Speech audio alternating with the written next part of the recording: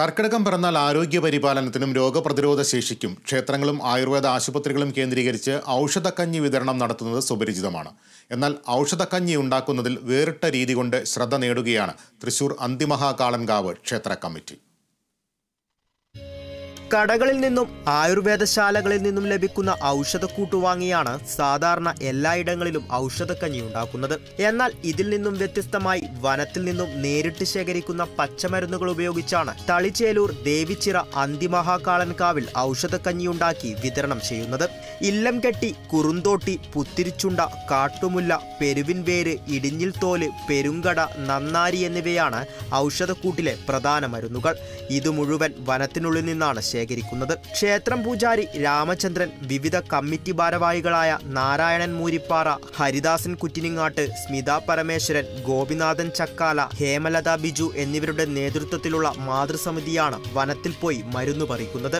നൂറ് കിലോഗ്രാമിലും കൂടുതൽ പച്ചമരുന്നാണ് ഇവർ വനത്തിൽ നിന്നും ശേഖരിക്കുന്നത്. പിന്നീട് ഇവ പത്തു ദിവസത്തോളം വയലിൽ ഉണക്കിപ്പൊടിച്ചാണ് മരുന്നുകഞ്ഞി ഉണ്ടാക്കുന്നത്.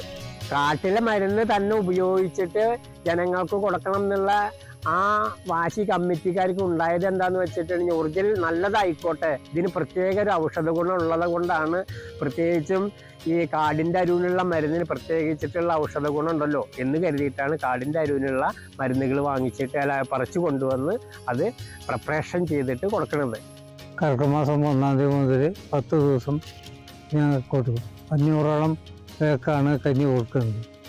അത് തന്നെ അവർക്ക് വീട്ടിൽ കൊണ്ടുപോയി കഴിക്കാനുള്ള സൗകര്യത്തിന് വേണ്ടി ഒരു ആൾക്ക് അര ലിറ്റർ വെച്ച് കഞ്ഞി കൊടുക്കും മുപ്പത് മുപ്പത്തഞ്ച് നാൽപ്പത് കിലോ വരെ അരി ഞങ്ങൾ ഉപയോഗിക്കാറുണ്ട് അതിനാവശ്യമായിട്ടുള്ള മരുന്ന് ഇപ്പോൾ കാട്ടിൽ നിന്ന് പറിച്ച് ഒരു പത്ത് ദിവസത്തോളം ഇത് ഉണക്കി പൊടിച്ച് മറ്റുള്ള പിന്നെ പൊടിച്ചാണ് ഇത് ഇപ്പോൾ കഞ്ഞിക്ക് ഉപയോഗിക്കുന്നത് മഞ്ഞൾ ഉലുവ മല്ലി ജീരകം ചതക്കുപ്പ കടുക് അയമോദകം എന്നിവയാണ് മരുന്നുകഞ്ഞിയിലെ മറ്റു കൂട്ടുകൾ. ഇവയുടെ പൊടി വാങ്ങുന്നതിനു പകരം ഗുണമേന്മ കുറയാതിരിക്കാൻ ഇവ വാങ്ങി ഉണക്കിപ്പൊടിച്ചാണ് കഞ്ഞിയിൽ ചേർക്കുന്നത്. ഉണങ്ങലരി കൊണ്ടാണ് കഞ്ഞി ഉണ്ടാക്കുന്നത്.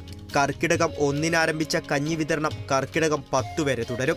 കഴിഞ്ഞ ഒൻപത് വർഷമായി ഇവർ ഇത്തരത്തിലാണ് ഔഷധക്കഞ്ഞി ഉണ്ടാക്കി വിതരണം ചെയ്യുന്നത്. ജാതിമത വ്യത്യാസമില്ലാതെ അഞ്ഞൂറോളം പേരാണ് ഔഷധക്കഞ്ഞി വാങ്ങാൻ ദിവസവും ക്ഷേത്രത്തിലെത്തുന്നത്. Kerala vision news Thrissur.